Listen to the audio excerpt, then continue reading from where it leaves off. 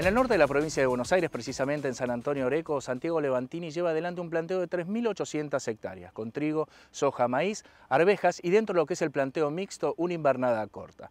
La estrategia que tiene planteada para el control de malezas son cultivos de coberturas, que se mixean justamente con la introducción de maquinaria agrícola de última generación, precisamente pulverizadoras que pueden trazar en tiempo real y a distancia todas las aplicaciones. Vamos a conocerlo en el norte de la provincia de Buenos Aires, una zona de suelos poco profundos. El asesor CREA Santiago Levantini cuenta la estrategia productiva que llevan adelante en el establecimiento San Ramón de Dugan, uno de los pocos mixtos en la zona. San Ramón tiene 3.800 hectáreas, estamos en la localidad de Dugan, en el partido San Antonio Areco, este es un campo donde particularmente no es algo común en la zona, pero todavía se mantiene una rotación donde participa en forma importante la ganadería dentro del campo. De las 3.800 hectáreas, nosotros mantenemos 800 hectáreas en ganadería, donde hacemos una invernada principalmente a pasto con encierres estratégicos. Y dentro de las 3.000 hectáreas de agricultura hacemos una rotación por tercios, donde los principales cultivos son trigo, maíz y soja. Y últimamente estamos incorporando arveja, como cultivo invernal y también estamos empezando a hacer como estrategia para control de malezas eh, cultivo de cobertura. Es una zona donde nos, nos llueven entre 900 y 1100 milímetros anuales. Estamos saliendo de una campaña muy complicada, eh, donde tuvimos escasez de lluvias en forma importante. Son suelos que tienen baja capacidad de retención, donde el horizonte de exploración, por las características de los suelos, son limitados, entonces necesitamos de lluvias no tan abundantes, sino es más importante que sean frecuentes. Santiago, ¿y cómo están incluyendo en la rotación cultivos de cobertura para tener no solo una mejora en la estructura del suelo, sino también un mayor control de malezas? Nos estamos dando cuenta que la problemática de malezas resistentes que, están, que estamos empezando a tener, es importante tener los suelos cubiertos, entonces si querés la rotación trigo-soja empieza a ser una estrategia de cultivo interesante porque mantenemos durante todo el año el suelo cubierto y después particularmente cuando si vamos a maíz en los últimos años pasó a ser una estrategia que nos aportó mucha estabilidad del rinde, el ingreso de siembras de maíces tardíos. Al ingresar la siembra de maíz tardío, que se siembra en diciembre, nos queda un periodo de barbecho muy prolongado y fue ahí donde empezamos a incorporar los cultivos de cobertura en ese periodo de barbecho para tener a su vez también el suelo cubierto y evitar la problemática de malezas.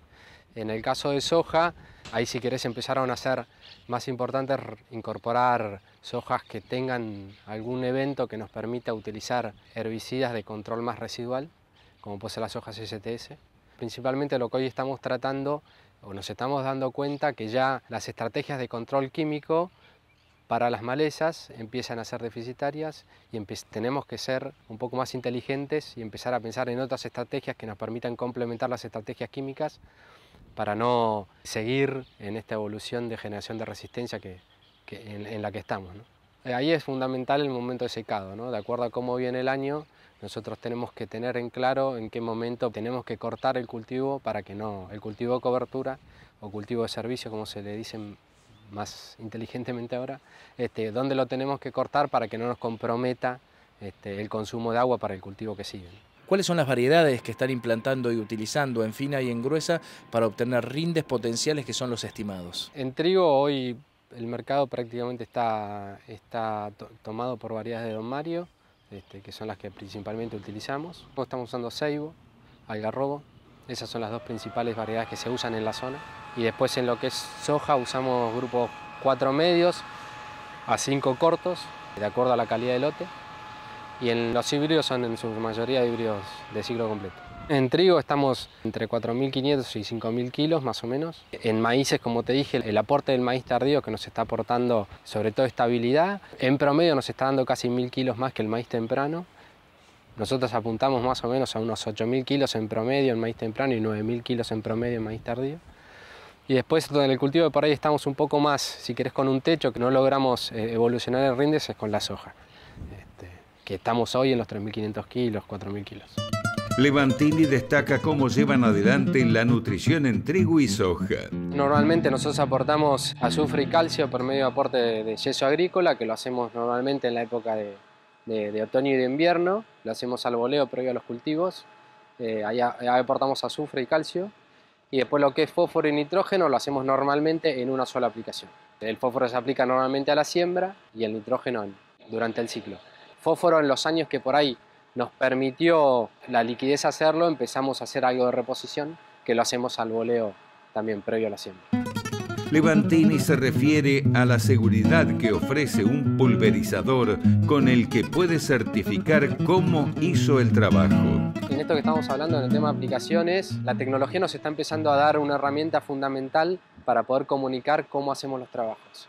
Y hoy en el caso puntual de la aplicación para nosotros es clave porque estamos dándonos cuenta que la sociedad nos está demandando este, que nosotros podamos comunicar con qué calidad hacemos los trabajos. Eso puntualmente con el tema aplicaciones. Y ya con el resto de las labores, la realidad que yo estoy convencido que la tecnología lo que nos brinda principalmente es la oportunidad de tener acceso a información que antes quizás no teníamos y eso nos permite empezar a ser más eficientes en el uso de los recursos que en un esquema tan competitivo como el que tenemos ahora es fundamental. La pulverizadora en 2016 tuvo un cambio estético, pasó de llamarse Plan Map 2 a Plan Map 3. Se reemplazó en principio todo lo que es fibra de vidrio por um, plástico roto moldeado.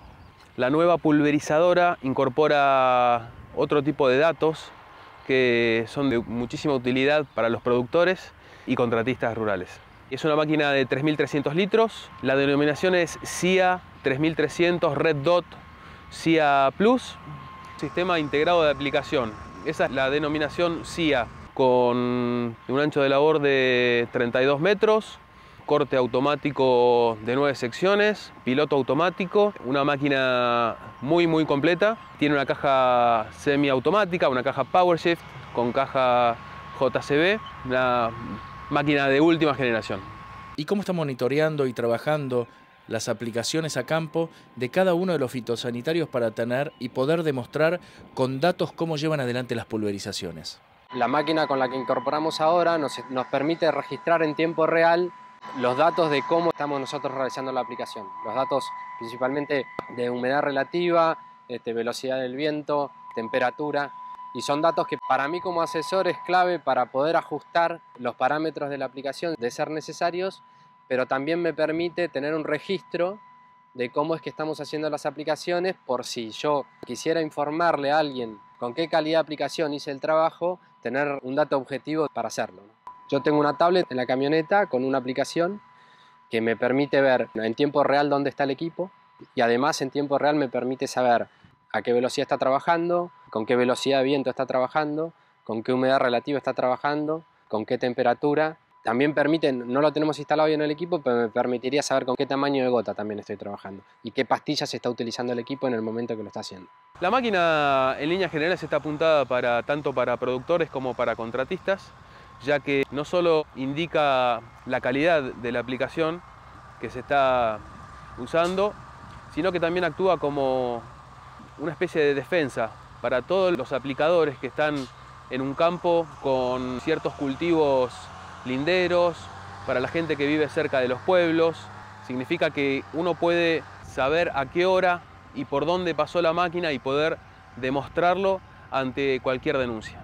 Desde PLA, por supuesto que se le da suma importancia a, a, todo lo que es la agricultura de precisión y sobre todo en este caso a lo que es el seguimiento de la unidad en tiempo real. En nuestro caso desde AgroPrecisa, acá en San Antonio de Areco, eh, a las unidades que entregamos hacemos una capacitación con la entrega de la unidad. Después tenemos un plan de visitas anuales, de capacitaciones para los aplicadores anuales y estamos en contacto permanente con, con los clientes, este, ya sean productores o contratistas.